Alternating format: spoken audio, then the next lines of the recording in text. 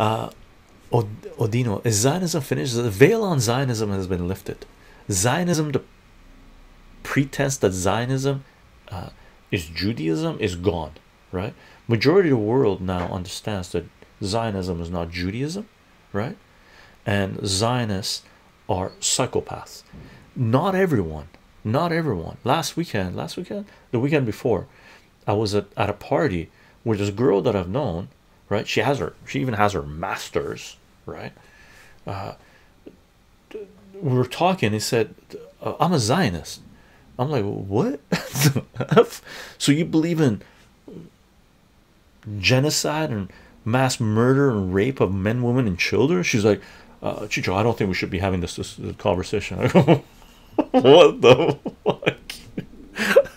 like, like, we got cut off. We couldn't continue the discussion. Like, I was going to, but my partner cut us off, right? She, she entered the conversation, so we stopped talking about that.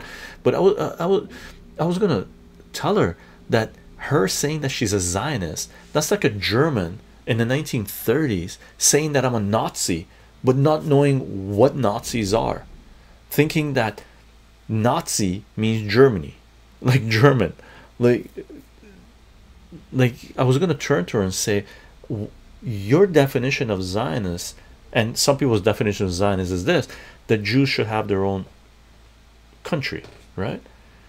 But the true definition of Zionism is Jews have should have their own country by any means necessary while genociding and mass murdering the indigenous population right and fuck humanity because they consider anybody else that's not Zionist not to to not to be human right so uh, people are messed up.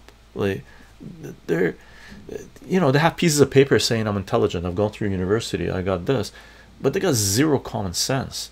They they consume corporate propaganda and they're really just npcs they don't have uh, they don't have integrity they don't have humanity they don't have empathy they don't have compassion.